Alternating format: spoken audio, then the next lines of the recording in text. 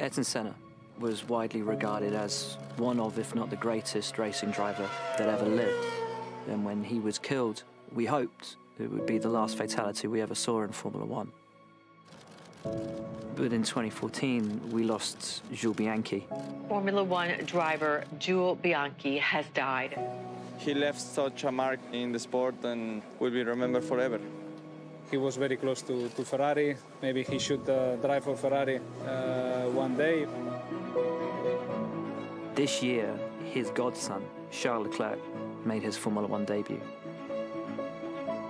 What Charles is doing is a continuation of Jules' legacy. Charles has a mission, the mission to do what Jules should have done.